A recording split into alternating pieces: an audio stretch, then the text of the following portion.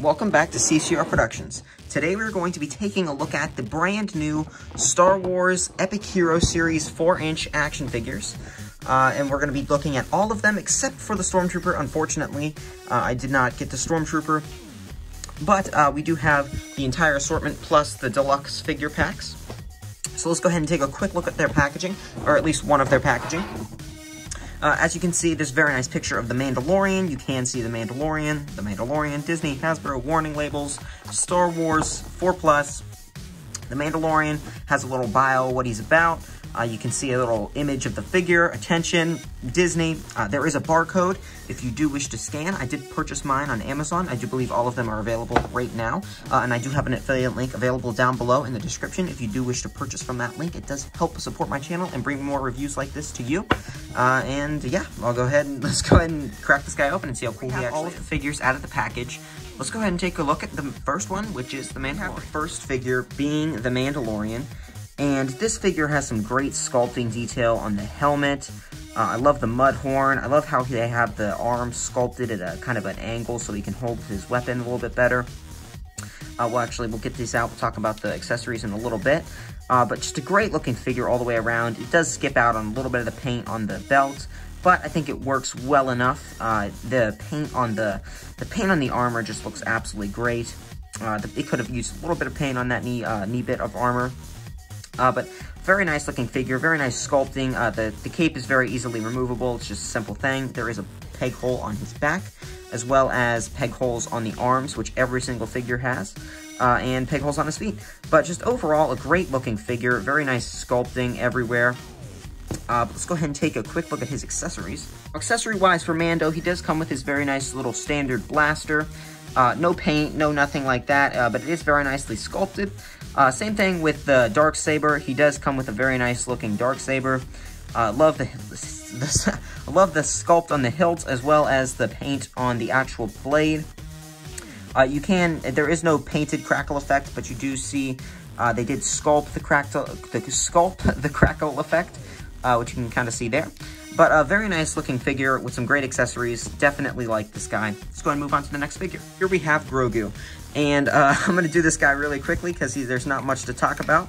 Uh, he does come with this very nice little, his little pram, uh, which is very nicely, uh, very nicely sculpted. He does also come with this little stand, which does insert nicely so you can have it float around. Uh, but he looks very cute in there. Let's go ahead and get him out. We'll talk about him in just a second. Uh, you can see some of the controls in the actual pram itself. It does fold and actually close all the way, which is incredible. I love that you can actually close them in there all the way.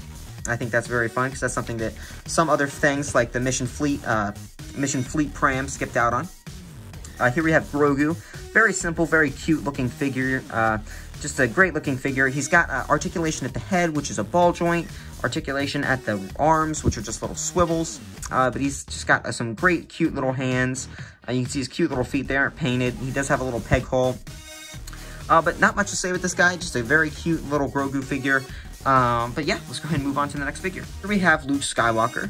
And this is Luke Skywalker, kind of from Return of the Jedi, when he's uh, when he's going to Jabba's palace to rescue everybody. Uh, but it's also, it's main, it's pretty much the Book of Boba Fett one. I guess it could kind of be used as both, uh, but it, it is Book of Boba Fett, Luke Skywalker. Uh, but overall, just a great looking figure. He's got some great sculpting with the Jedi robes. Absolutely love the that they painted the the belt buckle. I thought that would be something they would skip out on. It would look weird, but this is a figure that they can get away without get away with not having much paint at all on this guy because he just he doesn't really need it. Uh, I do like that they painted his hand, though. That would have been weird if he was wearing two gloves. Uh, but the head sculpt on this guy is great. This might be one of the best Mark Hamill head sculpts, other than, of course, the Vintage Collection. But at the scale, absolutely looks great. Looks pretty much just like him. Definitely a lot more like him than the end of Mandalorian Season 2. Uh, let's go ahead and take a quick look at his accessories. Now, accessory-wise, he does come with the Return of the Jedi-style uh, Luke Skywalker lightsaber, uh, which does have just a little bit of paint.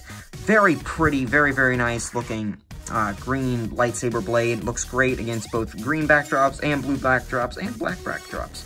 So, uh, but great looking there. He does come with this little uh, little pouch for to stick uh, to stick Baby Yoda in, just like he did in the uh, Book of Boba Fett show, and he can train Baby Yoda and just show off his nice flippy spinnies. Uh, but yes, that's pretty much it for this Luke Skywalker figure. Pretty nice, pretty fun. And uh, on to the next figure. Here we have Darth Vader, and this figure is another one that looks absolutely great. Love this thing. Uh, I love the look of the, Vader's head sculpt. I do wish they would have put a slight red tint to the eyes because I think it makes it look a little bit less, uh, a little bit less just like plain black, but it does give it a nice cool shadowy effect, so I do like that. Um, very nice paint on the, the armor piece there. There is no paint on the shoulder pads, which is fine because they're covered up for, from the cape for the most part.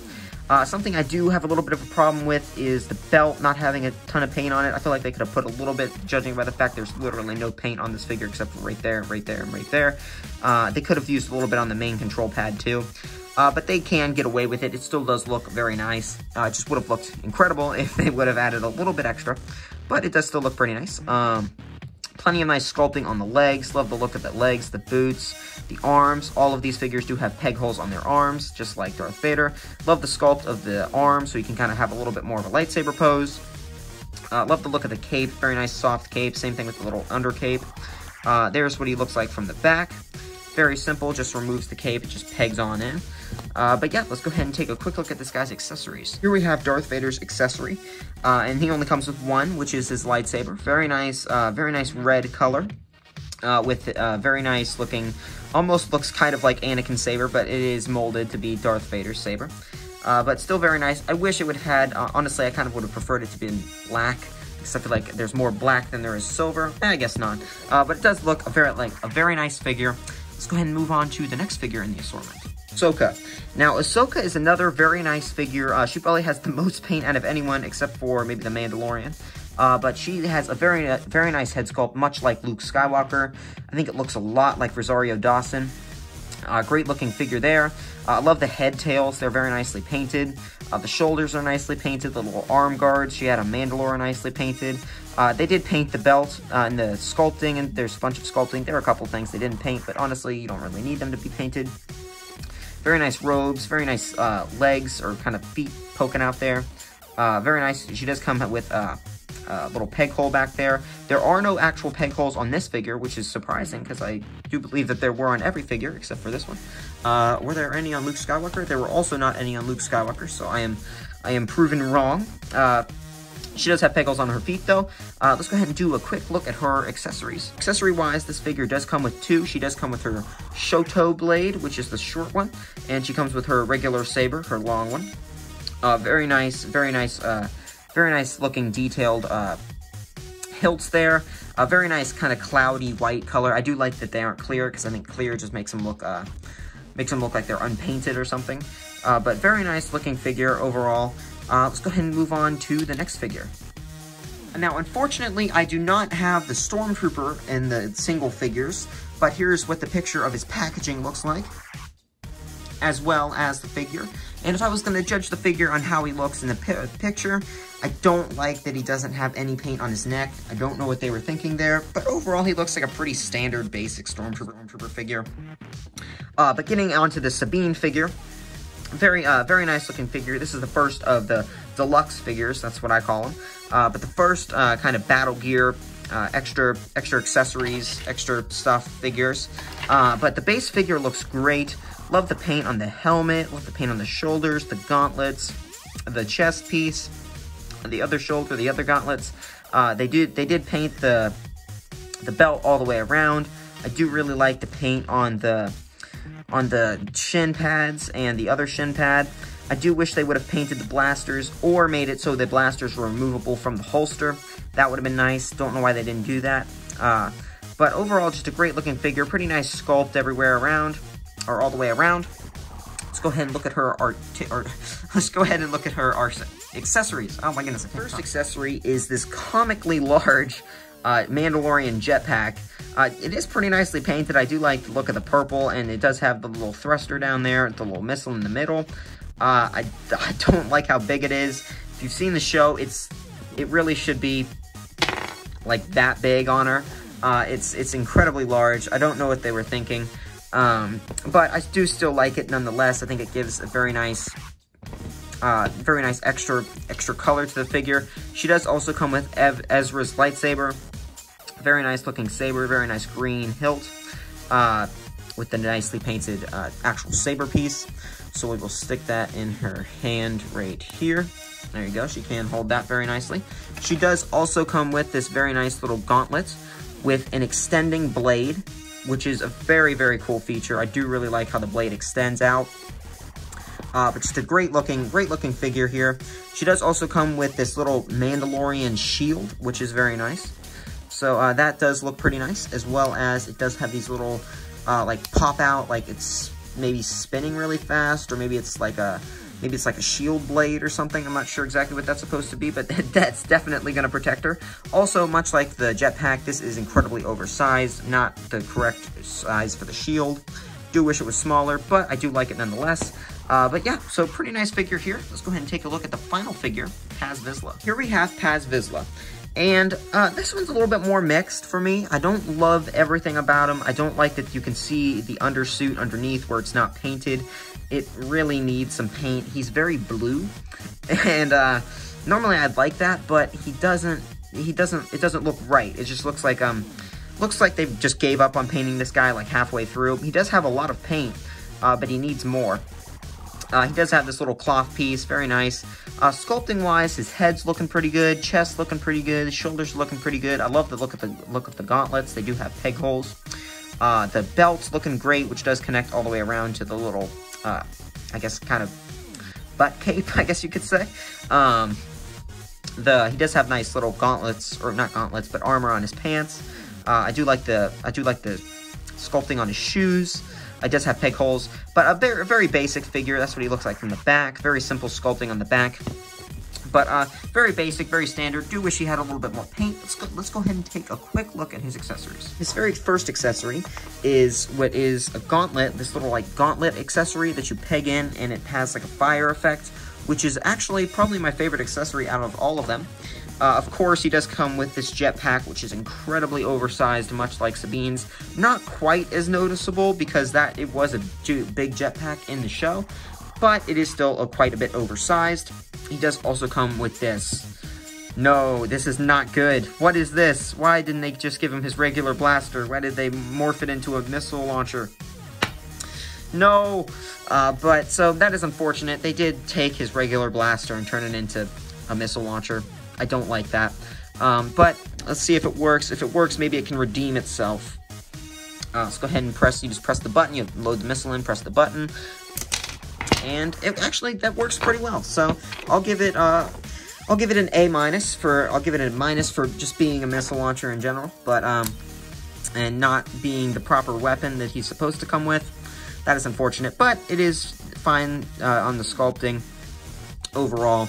Uh, pretty decent looking figure or pretty decent looking blaster. It does fit in his hand, kind of.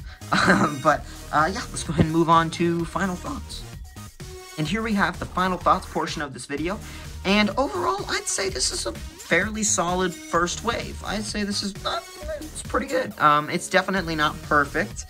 Uh, there are some stinkers in this wave, such as Paz Vizsla. I feel like he is not the best. But before I really rank these figures, let's go over their pricing. Uh, each single carded figure is $10. What? That is, that is pretty insane, judging by the fact that you can get a $10 figure from other companies, like this, uh, a Turtles, which is, like, significantly taller and has articulation. Um, but also, you can get, from the same exact toy line, Iron Man, Captain America, Marvel action figures for the same price, and they have knee joints and all sorts of other things. Um, don't think that the $10 price point is accurate. I think $8 would be a great price for these. Um, I think I think $8 would be great. Uh, I'd say if you were going to pick any up, who, which figures are worth it, I'd say Mandalorian 100% worth it, Luke Skywalker 100% worth it, Darth Vader, he's kind of getting there because he's not fully painted, but he's still a fairly worth it figure. I'd say the Ahsoka's pretty worth it. Now, Baby Yoda, no. Don't pick up the Baby Yoda figure. I think he, um, wait, he's going to go on sale. He's probably going to be like three bucks on Amazon in a month or two. Um, uh, so those are the $10 figures. Now, the $15 figures would be, of course, Sabine and, and Paz Vizsla.